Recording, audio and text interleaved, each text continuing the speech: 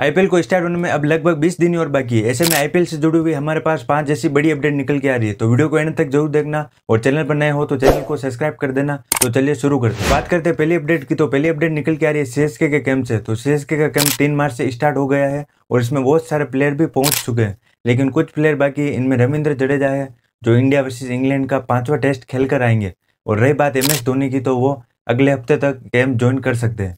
बाकी player Ranji trophy खेल रहे हैं। तो वो जैसे ही फाइनल होगा तो डायरेक्ट ज्वाइन कर लेंगे। सेकंड अपडेट है डेवन कॉनवे को लेकर। तो ऑस्ट्रेलिया के खिलाफ पहला टेस्ट डेवन कॉनवे नहीं खेल रहे हैं और न्यूजीलैंड क्रिकेट बोर्ड इन पर कुछ साफ़ नहीं कर रहा है। ऐसे में हमको डेवन कॉनवे पहला मैच मिस करते हुए नज़र आएँगे। जी हाँ दोस्तों, अगर ये मिस करते हैं तो ये चेन्नई सुपर किंग्स के लिए बहुत बड़ा झटका होगा और इनकी जगह रचिन रविंद्र खेलते हुए नज़र आएँगे। तो तीसरी अपडेट है एसआरएच के कैंप से। तो क्रिक बस के रिपोर्ट के अनुसार एसआरएच के न्यू कैप्टन पेट कमिंस होंगे।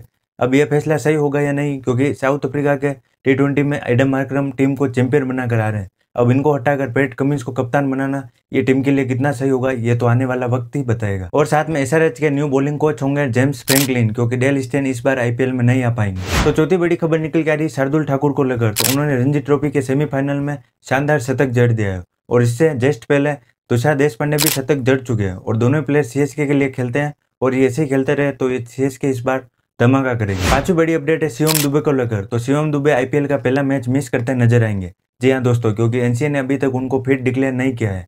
लेकिन वो बहुत जल्दी फिट हो जाएँगे और आईपीएल में वापसी करेंगे। लेकिन अगर वो नहीं करते हैं तो उनकी जगह समी रिजवी खेलते नज़र आएँगे। लेकिन वो सिर्फ़ पहला मैच ही मिस करेंगे सेकंड मैच से उपलब्ध होंगे। और अगर आप आईपीएल की पल पल की अपडेट चाहते हो और गेम्स के पिक्चर्स और वीडियो चाहते हो तो मेरे टेलीग्राम चैनल को ज्वाइन कर लीजिए। मैंने लिंक डिस्क्रिप्शन में दे दिया है।